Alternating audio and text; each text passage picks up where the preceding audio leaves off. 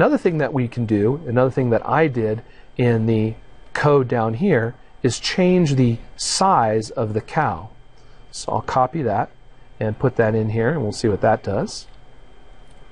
So I'll just put that right here.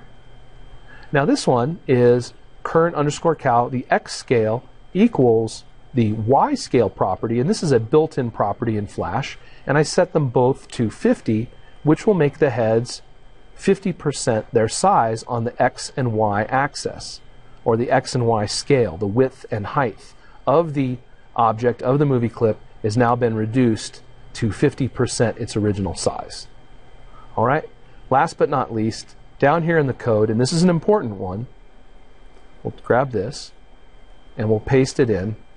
This goes into the cow move function, and that is after we increment the speed, I run an if statement to say if this current cow's y position is greater than or equal to, we want to put here the bottom of the movie. The bottom of the movie is 400 pixels tall, right?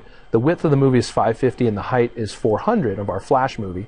But when it gets, let's say here to 330, we want to remove the movie clip from the stage. We don't want the cow falling into infinity. So now you'll see that as soon as the cow gets right here, it get it disappears right about here because I've told it as soon as it gets to a certain place on the y-axis to remove itself from the movie.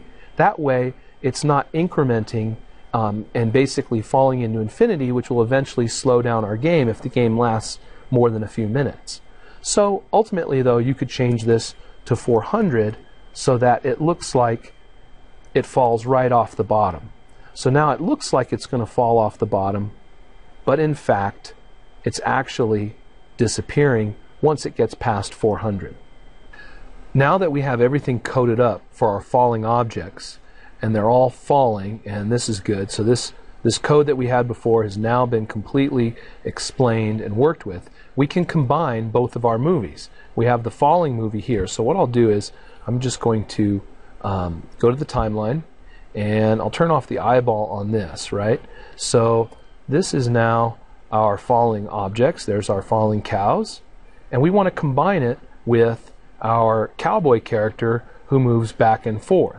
So let's see if we can do that. Now, to do that, what I'm going to do is I'm going to, first of all, I'll just copy all of this, copy all that, Control C, go over here, and I'll make a new layer, and Control V and paste it, right?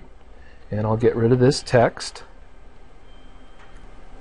and I'll just take this and arrow this down,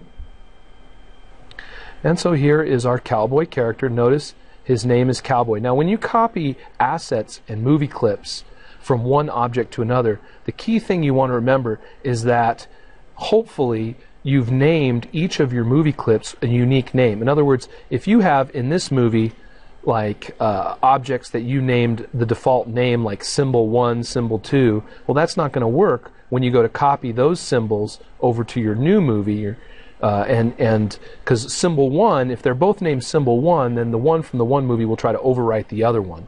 So they need unique names. So you can see now in this new movie that we have here, this is our our attached movie file. You can see that I have the cow movie clip. I've got that text right, which I don't really need, and then I've got my cowboy.